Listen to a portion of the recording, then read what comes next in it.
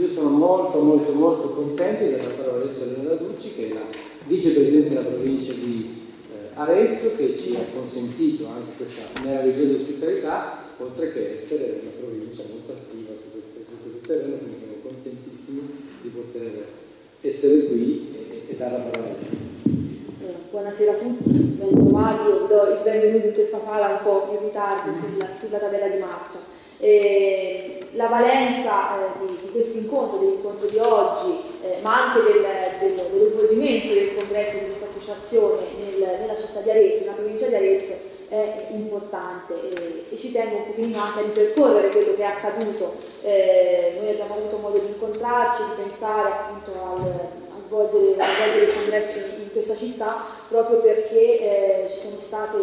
eh, diversi eventi eh, significativi eh, che sono iniziati all'incirca alla metà dell'anno scolastico appena trascorso, eh, quando è iniziato un pochino a eh, emergere il fenomeno eh, corsi gender a livello nazionale, che poi è stato raccolto da alcune associazioni anche a livello locale che lo hanno, eh, che hanno, insomma, l'hanno cavalcato in maniera abbastanza, abbastanza forte. Eh, fino ad arrivare al, diciamo così, a un estremo compimento di di questa opposizione, di questa fobia, eh, con l'approvazione una mozione in Consiglio Comunale qui ad Arezzo, eh, proprio che si oppone in maniera eh, categorica a qualunque forma eh, di diffusione e promozione dell'ideologia gender, eh, ma anzi si ripropone addirittura di andare a intervenire nelle scuole e contrastare la diffusione di qualunque materiale legato alla, appunto, alla promozione e all'ideologia gender. Um,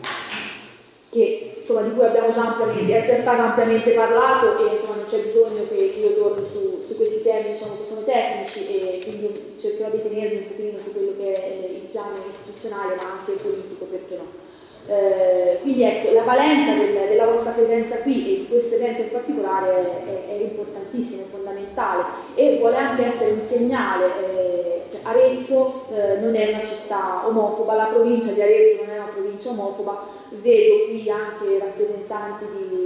dell'assessore eh, Elena Micheli di Fogliano, quindi rappresenta la, la della Val di Chiana, eh, ci siamo già confrontati e questo è sicuramente un momento anche di stimolo per tutti gli altri comuni eh, della provincia eh, per aderi, aderire e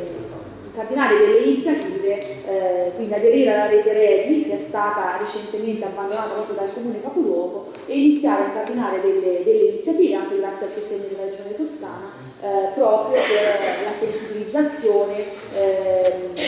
nelle scuole in particolare perché insomma la provincia nello specifico ha competenze per quello che riguarda anche la scuola ecco. e qui eh, come ho già detto anche in altre occasioni eh, dal momento in cui ci saranno le risorse, sarà nostra cura ricominciare i percorsi nelle scuole che erano stati fatti gli anni scorsi, perché nonostante poche ed estemporanee opposizioni eh, abbiamo avuto davvero un ottimo riscontro sia da, per quello che riguarda gli insegnanti che per quello che riguarda eh, i genitori e i ragazzi stessi. Eh, si è parlato eh, anche del,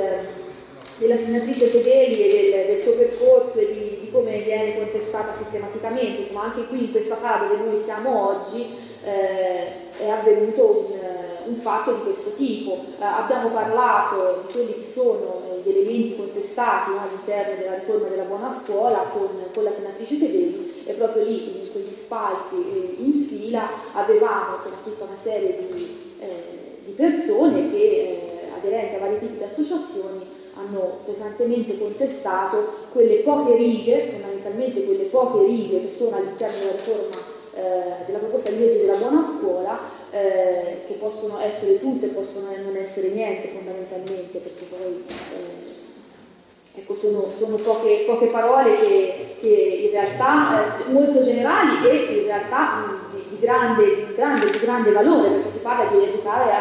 al rispetto delle, delle differenze di genere. Quindi ecco, eh, la provincia di Arezzo già appunto prima che ci fosse una legislazione eh, ad hoc sia a livello regionale che nazionale ha sempre lavorato eh, per quello che riguarda l'abbattimento degli stereotipi di genere, eh, molto, attivo nel, molto attiva nel settore delle pari opportunità. E in particolare eh, possiamo ricordare anche dei, proprio dei, delle iniziative relative a, alla lotta al bullismo eh, e all'omofobia, come appunto rientra nel, nell'abbattimento delle, delle discriminazioni e degli stereotipi. Eh, omofobia a me piace più parlare eh, di omonegatività, nel senso che veramente si tende a connotare in maniera negativa eh, l'essere omosessuali, quindi non è, mh, mm, in alcuni, in alcuni, settori si può parlare di omofobia, ma sicuramente anche nel mondo della scuola si può parlare di omonegatività, eh, si connota in maniera negativa eh, l'essere omosessuale o l'avere dei comportamenti che possono essere ricondotti eh, all'omosessualità. Quindi intervenire nelle scuole è sicuramente qualcosa di fondamentale. Eh, noi si interviene non solamente nelle scuole superiori, ma addirittura nelle scuole dell'infanzia, al nido, in scuole di ogni ordine e grado e di ogni tipo, perché sono anche istituti eh, cattolici che hanno aderito a, ai, nostri, sì, sì, eh, ai, nostri, ai, nostri, corsi. Vorrei ricordare che ci sono anche dei, dei, dei, delle associazioni, dei mondi anche legati al